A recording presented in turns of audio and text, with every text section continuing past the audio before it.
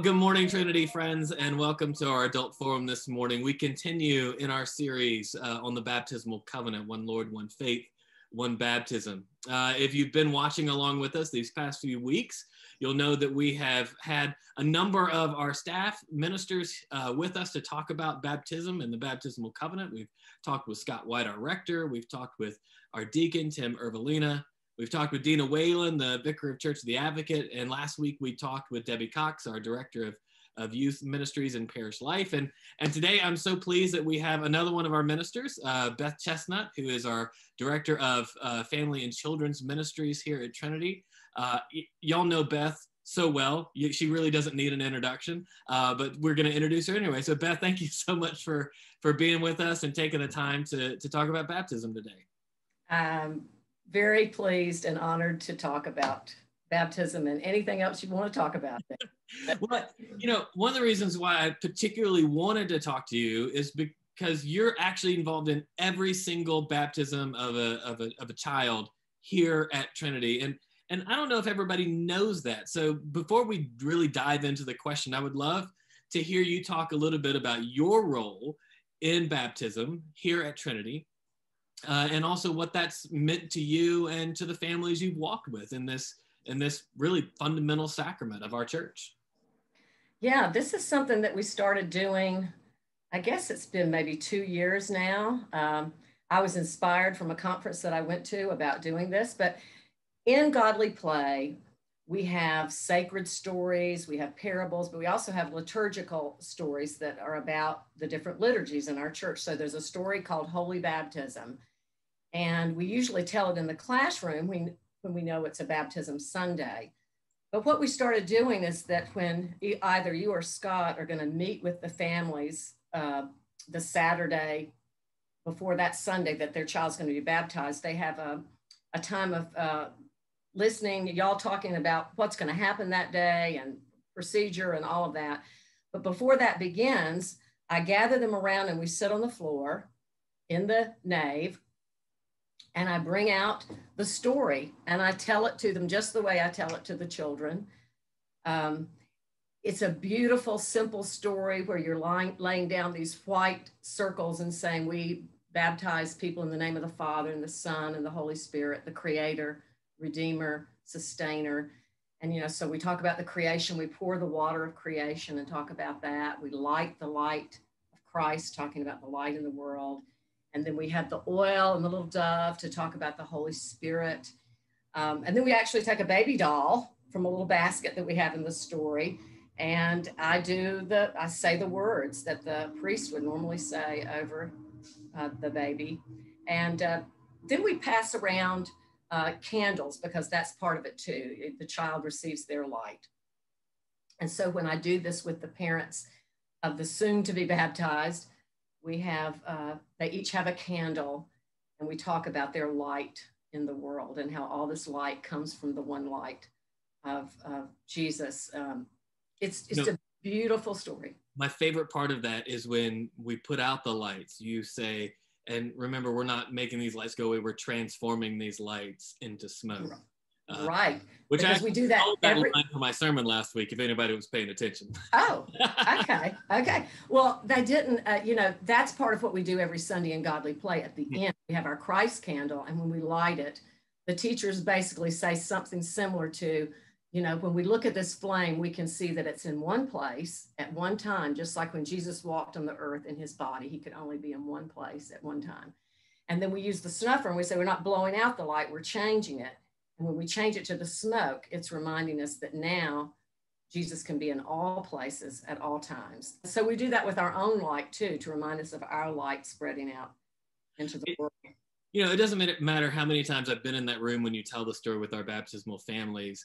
I feel like I get something out of it different and it speaks to me in a different way every time I hear it. And I know you've done this with our Godly Play Big Stories and but in that kind of more intimate moment with your families who are going through this this sacrament, how have you seen them kind of respond and, and the story affect them? Uh, I, would love to hear your perspective on that. Oh, just uh, I can see it on their faces, even you know, and of course, certainly afterwards they'll tell me they say, "Wow, you know, that was that was really moving," or um, I, I, I can just I can see it on their faces that the the power of the words like when we do the little oil, even on the baby doll, and say, You are marked as Christ's own forever. You know, they're such powerful words. In some ways, I think you know that morning of the baptism, it can be it can be hectic. There's lots of things going on. I mean, back when we were having baptisms in the church with the full congregation there, right? Those and, days, and so it can be a blur. And I remember the baptism of my own children; it, it was very much a blur. And I love that they get this moment on Saturday where they kind of go through those those really impactful moments of the liturgy that are that are charged with deep emotion about God's relationship with us and our relationship with God. That, that it's in a, almost a more contemplative fashion. I think it helps kind of stick with folks a lot. So it's a great. Well, they get a little book at the end too. I usually give them a, a small book that uh, child's, you know, basically meant for a child probably in a three to five year old age range, but something that they can share with their children as they're beginning to grow about their baptism. And it reflects back on the lesson. Um, but no, I've gotten nothing but positive feedback. But I, I love just to look around the circle at their faces when they're holding the, the candles and the lights. I mean, the story has its own power you, you know you're, you're right. The story really does have its own power. I mean stories have this very transformative effect. And so and baptism really is one of those stories of our faith and a story that we can point back to and and in a story that does that does change us. And that's i mean that's really a lot of what godly plays about. It's about the power of, of stories to change us. Right. It, it, it's it so much is. And you know it it changed me. I mean you know I, I grew up in the baptist church you know, so I knew my Bible, but I never had this kind of connection to the story as I have when I learned this method with godly play, using all the senses that we use to tell the story auditory, visual, kinesthetic, because they get to work with it. And, and you know, I, I love that we're talking about this because it leads directly to the question we're talking about is will you proclaim uh, the good news Will, will you proclaim by word and example the good news of God in Christ? And, and so often when we think about proclaiming in word and example, we think about going out and doing something. We don't often think about proclaiming it in all of our senses and our taste and our smells and, and, and our auditory, which is kind of what the godly play stories begin to, to get at is that the good news is for all of our senses. Right, right. And that uh, and that when we hear these stories again and again through the years you know once they they don't hear the creation story just one time you know they'll hear it maybe every other year or whatever. And uh, it's beautiful to be able to say you know when they say oh oh i know this one i say yes you heard it two years ago and you're a whole different person now. You're going to be amazed at what you can hear differently now. Well, yeah the, the stories change as we change and grow and mature and you know the and, and that's why you know the proclamation of the good news of christ is, is one thing but it's also a whole bunch of things. Um, it's not just one way and, and one thing. Um, and i think about the good news that y'all proclaim every day over the course of a year shaping our children into people of faith. Um, so well and even stories that are uh, secular you know but during the summer we've had some time to be trying to be creative and do some uh, other things with this Facebook thing. Um, there's so many secular stories with really a great message. And uh, I just wanted to share. There was one, it was called The Suitcase. And it was a beautifully told story, but it was about a little boy who's packing a suitcase for the kingdom of heaven, mm-hmm. what he's taking with him. And of course, he's taking some things uh, that he thinks he's going to need to help people you know, so he's talking about the different things that he would put in the suitcase. And so I asked them, this was on Zoom, you know, uh, I sent home a little PDF with the parents with the shape of a suitcase and, you know, what would you put in it? You can draw it, you can write words, whatever. And I had, I had great responses, so many different ones, but uh, to show you how the depth of how children understand this, I had one child who said, I would pack a cross and a flashlight and I could hold the cross up. And when I shine the flashlight on it, everything dark behind it, I can remember is behind me and all the light ahead of me. Mm. That's that's what's ahead in the future, you know. And I mean, I, am stunned, you know, when I hear those things. wow. Well, I mean, I, I think a lot of times there's this perception that when we do formation with with our younger members, it's uh, it's about filling an empty vessel And that's not mm-hmm. the case at all because it's not just you and your teachers proclaiming the good news to these to our younger younger members. It's them proclaiming it right back to you. Um, Absolutely, and the beautiful part about this uh, program too is that once you've told the story and you've got those, you ask these wondering questions, you get to wonder too as an adult, and you don't have to have the answers. So when the children ask you uh, a, a certain question, you know, and you're stumped, you can also say, you know, I don't know that. You know, that's a that's a great question, or people have asked that questions for for thousands of years, and let's explore that together. It's a question of faith, isn't it? I mean, it's a great response of faith to say, I, I don't know. um, and that's one of the things I'd love for parents to really get from if, if I were in a formation class is to tell them that don't I, I think some parents are afraid they don't know enough about the Bible or whatever, you know, to do this. That can be the beauty of it. You know, explore it together. Have that curiosity together with your child about, I don't know about that story. Let's see if we can find that story. Yeah, this baptismal promise isn't proclaim the answers to all of life's problems. It's not to proclaim the the answers. It's to proclaim the good news. And and sometimes we don't understand all about the good news. Sometimes we can't wrap our heads around it. And and in a way that's good because if we could, it, there would be nothing mysterious left in it. And I would hate exactly. to get to the bottom of the mystery of God. That would that would very much shrink God to something uh, less than actually God is. Exactly, exactly. So that's the kind of the beauty of it. And I, you know, tell the teachers when I work with them too. It's uh, if we have the answers, then this word that we're proclaiming doesn't grow anymore. I mean, you know, that we we want it to keep questioning and growing and looking and seeking. I've always thought that was interesting in the Jewish faith, this uh, midrash, or you know, where they yeah. really go dive deep and try to, you know, and, and it's and it's good to argue. Yeah. You sometimes I think we're afraid to argue. It's good to argue. I love to think that our, our, our, proclamation of the good news is something that's not just something we do once and we're done, but it's something we do and that continues to grow and it continues mm-hmm. to develop and it continues to change. You know, once we kind of put something out there as people take it in and and mold it into their own lives and, and graft mm-hmm. it into their own lives, it, it changes and exponentially grows um, in so many ways. Um, so yeah, so I'm I'm I'm curious, you know, and, and all how, how long have you been doing godly play? How long have you been doing children's formation? Uh this 20 years. So you've been here 20 years and you know, it's it's such a wonderful gift to have staff who have who know a place like uh, so many of our staff know this place. It's really wonderful. Um, over your 20 years, um, I would love to hear some stories, some thoughts, and reflections about how you've seen our kids proclaim the good news in word and example of, uh, of God in Christ. Oh my God. Well, you know, because I've been here so long, you know, I can actually say that I was a Sunday school teacher of Jared Grant, who is now who's now a priest. There's a big story. There's a success story. Uh, I'm teasing, but but it's uh, all you. We know. We know it's all. It, it, it was me but it, it is interesting though that I could see from the get-go, and Debbie and Sharon and I would talk about this too. We could see that whatever it is about church too, this atmosphere was really resonating for him. That there was something, there was uh, not that was any deeper, but it was just something. This was this was going to be the place for him. We could we could kind of feel that. Um, but I've seen it with so many of my children. Um, who've gone on to do things. I especially get to see that as I go forward with Debbie and I see how they get involved with EYC and how they step up with other things in the church. But, uh, you know, even the ones that I'll hear about later that are starting to question and saying, well, I don't know if I believe in any of this or not.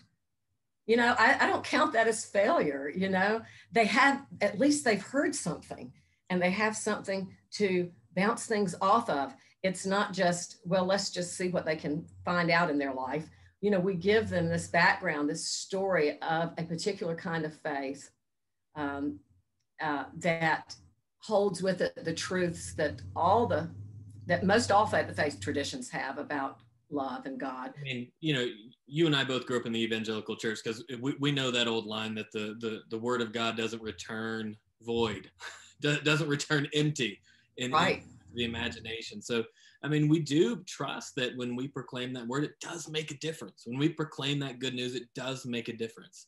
No matter what path a person chooses to take in their lives, proclaiming love in somebody's life, I think, does make a difference. To proclaim to someone that you're loved no matter what does make a difference. and that God loves you no matter what, what you know, and whether or not you love God or, or you believe in God, God loves you and believes in you. Right, right, right, right. And uh, so, uh, you know, and, and I see it even with the children that I have now. I can see it in just how they respond to one another, uh, how they're trying to make sense of the world. Um, and that's another thing that I think coming to, to church or godly play gives children a language mm like I remember being, I was so proud of some of the children that one day when I guess Father Scott had them forward or something, maybe it was Bishop of Myra, I can't remember, but he asked them if they knew what a prophet was. And one of them used the language you use in God. This. Said, oh, a prophet is someone who comes so close to God and God comes so close to them that they know what God wants them to do. And it was like, yeah.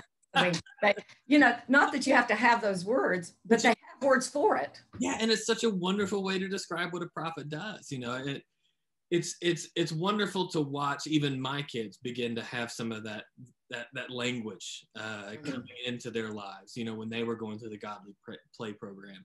Um, I love the questions that I get asked when I've done the communion classes. Uh, oh yeah. Uh, some of them are so, some of them are profound and some of them are hilarious and i love the hilarious ones as much as i love the profound ones. Um because um, i do remember one i was asked um, i said does anybody have any questions about this thing that we do every sunday? Somebody goes yeah why do we let kids drink alcohol? Oh oh i've forgotten that one. I thought huh, talk about a question that stumps you. Like how do you respond to that? Because you know anything you wonder. Father david said uh, would not be good. Um, yeah but well, so, you could always say, "I wonder." I wonder, yes, I wonder why. I wonder why. I wonder, I wonder why we do. Yeah. Um, yeah. But you know, part of your ministry isn't just to the, the, the kids of our peers, the students of our peers. It's also to our, our teachers and, and our families. And and as as you minister there, how how do you see Trinity proclaiming the good news to our families and and and helping them proclaim that good news in their own lives, and their own family lives? I, I'll often tell uh, families that you know you are your child's primary faith formation leader and you don't have to know mm-hmm. everything but mm-hmm. they, they, take cues from you you know if it's important to you it's important to them so how does that mm-hmm. formation from that end seem to kind of whether it be with your teachers or or your parents how do you see that proclamation of the good news well probably in some different ways but one way i know that uh, i always do hear parents asking me for ways to uh, like go into ad- Advent with their child or to go into Lent, you know, with their child. So that's one of the things I always want to try to create are some uh, some at home things that they can do that are simple, that aren't too time consuming, but have a symbolic nature to them, and and a visual nature, things that uh, tactile, things that children, you know, get. You and, know, and one of them's coming up. We're, we're, you're doing this for Advent, right? Yes, in fact, we're getting ready to start something called Advent in a Box. and yes, you're going to get a box in the mail and it'll be filled with the stuff to make your Advent wreath along with you know the little this is the this is the beloved thing that we always used to do on the first yeah. day of advent. But we can't gather to do it now so the only thing that's not in there is the greens. We won't send you the greenery. You have to do that. But the advent wreath stuff is in there with the devotional but then there's going to be also in there so you'll take that out. The box is now empty. There's a reverse Advent calendar. I like that word, reverse Advent. So instead of, you know, how you have those little chocolate things where people open it up and you get something each day of Advent. Well, instead, I have a coffee Advent calendar for this year. So, you know. Oh, you do? I love it. Uh, so this is going to be where you put something in every day of Advent and it's going to our ministry that's housed here at Trinity, the Church of the Advocate, our ministry for homeless and marginalized folks. So different small items that you know are needed for our our, our homeless siblings and like one day might say hand warmers, one day might say a pencil, one day might say small notebook, one day might say your that, that, there you go. There's a proclamation of the good news of God and Christ an example. And indeed, you know, this mm-hmm. is a deed that our children and our family are going to be doing every day. And then at the end, they're going to have a 20, you know, a 20 odd day proclamation of the good news. Right, that they're going to bring back. So then once that box is filled, obviously we're not going to wait all the way to Christmas, but on that Sunday, December 20th, we're asking the families to bring them all in. Um, and then we will have uh, all these wonderful things to share with uh, the folks from Church of the Advocate. And, uh, you know, I, I think it's going to, it's to be a very tangible way and a way for our kids to give back because I think our kids, we are blessed. Most of the kids that come to our church are blessed with a roof over their head and plenty of food to eat and toys for Christmas and that kind of thing. So here's a chance to you know as, as we begin to kind of wrap wrap things up I, am thinking that you know as episcopalians evangelism is not something that we kind of um, think of as our strong suit um, mm-hmm, mm-hmm. you know proclaiming the good news of god and christ in word and example might be a little unnerving because you know the image that comes to mind is you know the street preacher out on the corner with the sandwich board right. shouting that the end is near but you know it is right. 2020 maybe it is i don't know um, yeah. but what I love about this conversation is it's recast this idea of proclaiming the good news of God and Christ and Word and example through the lens of story and, and our story and, and sharing and telling our story, not just the stories of the scripture, but also our own stories as a family and, and becoming those stories of the good news. And and I love that idea of the good news as as that shared story, that shared um, story that we're continuing to tell. Um, and you actually said that you you have you have something on stories that you refer to a lot that kind of resonates with back yeah. and, and the transfer. I wonder if you could share that with us as a way of closing us out. Sure. This is something I often read to the teachers when we have our workshop and we're getting ready for the year. it just spoke to me. It's, it's uh, by Rumi, that ancient poet that uh, has some wonderful things. But uh, this one is about story. And I just think it captures it beautifully. It says, a story is like water that you heat for your bath. It takes messages between the fire and your skin. It lets them meet and it cleans you. Very few can sit down in the middle of the fire itself, like a salamander or Abraham. We need intermediaries. A feeling of fullness comes, but usually it takes some bread to bring it. Beauty surrounds us, but usually we need to be walking in a garden to know it. The body itself is a screen to shield and partially reveal the light that's blazing inside your presence. Water, stories, the body, all the things we do are mediums that hide and show what's hidden. Study them and enjoy this being washed with the secret we sometimes know and then not. Mm. What a wonderful way to end. What a wonderful way to kind of launch us into the week. Uh, thank you, Beth, for being with us, for sharing with us about uh, our ministry amongst our kids and families, and for sharing your wisdom with us. Thank you so much. It was my pleasure to be here today, David. Thank you. Well, we'll see y'all next week. Thanks for joining us. Bye. Bye.